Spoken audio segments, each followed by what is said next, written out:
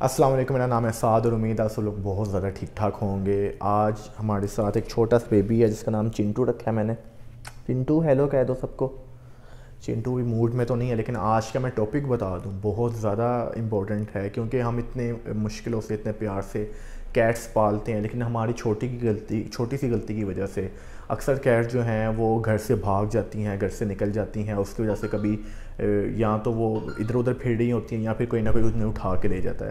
تو کیا وجوہات ہوتی ہیں؟ کیا ریزن ہے میں میکسیمم ریزنز جو ہیں وہ اس ویڈیو کے اندر بتاؤں گا۔ تو ویڈیو کی طرف چلتے ہیں، میں ذرا ٹائم نہیں ویسٹ کروں گا۔ اور ویڈیو اینڈ تک لازمی دیکھیے گا۔ سارے جو پوائنٹس ہیں اس کے اندر بہت زیادہ امپورٹنٹ ہے۔ ویڈیو کی طرف چلتے ہیں۔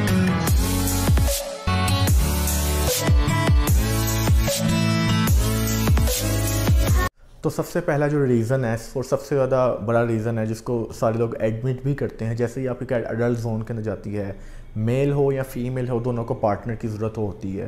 خاص طور پر جو فیمیل کیٹس ہیں، جب وہ ہیٹ پہ آتی ہیں اور اس کو آپ پارٹنر نہیں پرووائڈ کرتے میل نہیں ہوتا آپ کے پاس یا اس کو پارٹنر نہیں پرووائڈ کرتے، وہ اس کی کوشش ہوتی ہے کہ وہ باہر کی طرف جائے، اس کو باہر سے بلوں کی اکثر سمیل بھی آ رہی ہوتی ہے۔ کیونکہ ہمارے سے کہیں زیادہ ان کی طاقت ہوتی ہے سمیل کرنے کی، اور اس کو آوازیں بھی آتی ہیں۔ تو اس کی کوشش ہوتی ہے کہ وہ باہر کی طرف جائے۔ جیسے ہی کوئی باہر جا رہا ہوتا ہے، آپ میں سے کوئی گھر والا، تو پیچھے پیچھے سے اکثر نکل جاتی ہیں۔ یہ چھت کے تھرو بھی کچھ لوگوں نے رستہ بنایا ہوتا ہے کہ چھت پہ چلے جائیں کیس تو وہاں سے بھی ایسا ہوتا ہے۔ کہ چلی جاتی ہیں اور اکثر باہر کے بلوں کے ساتھ میٹ ہو جاتی ہیں۔ میں نے بہت سارے ایسے کیسز دیکھے ہیں جن میں لوکل کیٹس کے ساتھ میٹس ہو جاتی ہیں کیٹس اور اکثر میں پرابلمس بھی آ رہی ہوتی ہیں اور جب بیبیز ہوتے ہیں تو کوئی لینے کو تیار نہیں ہوتا۔ تو یہ سب سے بڑی ریزن ہے۔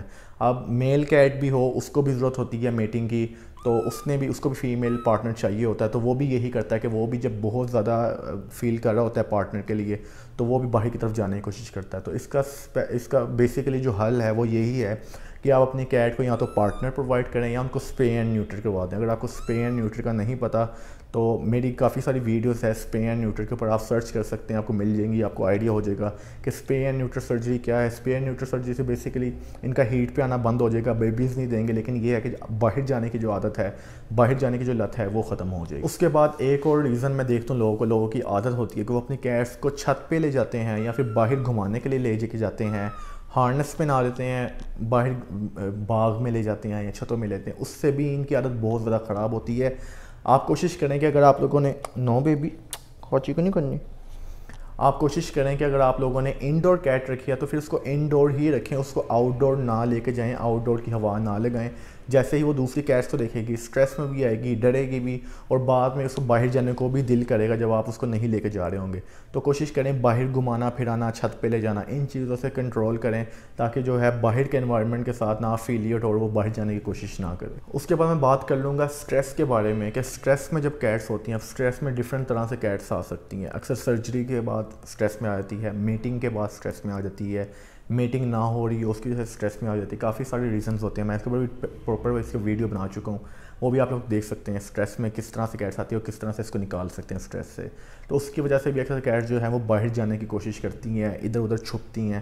اکثر گھروں میں ہی چھپی ہوتی ہیں اور آپ لوگ کیٹس ڈھونڈ رہے ہوتے ہیں کہ ہماری کیٹس کہاں پہ پورے دن کے بعد جا کے وہ گھر میں ہی کسی کونے سے نکلتی ہے۔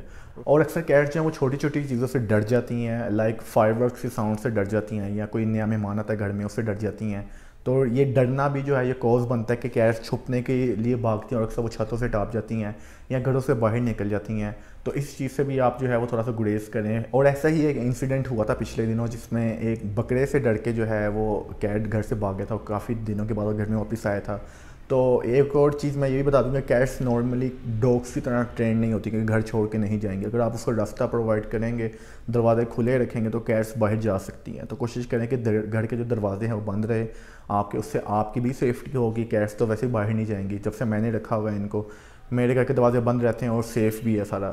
تو نارملی کیٹ اس طرح سے زیادہ ٹرین نہیں ہوتی۔ تو کوشش کریں کہ گھر کے دروازے وغیرہ بند رکھا کریں اور ڈرنا اسٹریس سے بچانا ہے آپ نے۔ ڈرنے سے بچانا ہے۔ دوسرا، جب اڈلٹ زون کے اندر آ جائیں تو ان کو جو ہے پارٹنر پرووائڈ کریں یا اسپین انٹر کروا دیں۔ تو یہ چیزیں اگر اس چیزوں کو آپ کنٹرول کریں گے تو آپ کی بلی کبھی بھی باہر کی طرف نہیں جائے گی، اس کو باہر جانے کی ضرورت نہیں پڑے گی۔ تو امید ہے آپ لوگوں کو ویڈیو پسند آئی ہوگی۔ اگر ویڈیو پسند آئی تو چینل کو لازمی سبسکرائب کریں ویڈیو کو لائک کریں۔ اور ایک لاکھ سبسکرائبرز ہونے والے ہیں، جلدی سے کروا دیں۔ ایک لاکھ سبسکرائبرز کے اوپر پہلے کی طرح، جس طرح میں نے پہلے دو دفعہ لگائی تھی سیل لگائی تھی، اسی طرح میں پھر سے سیل لگانے جا رہا ہوں۔ کافی بڑی سیل ہوگی۔ تو ملتے ہیں نیکسٹ ویڈیو میں ان شاء اللہ اللہ حافظ۔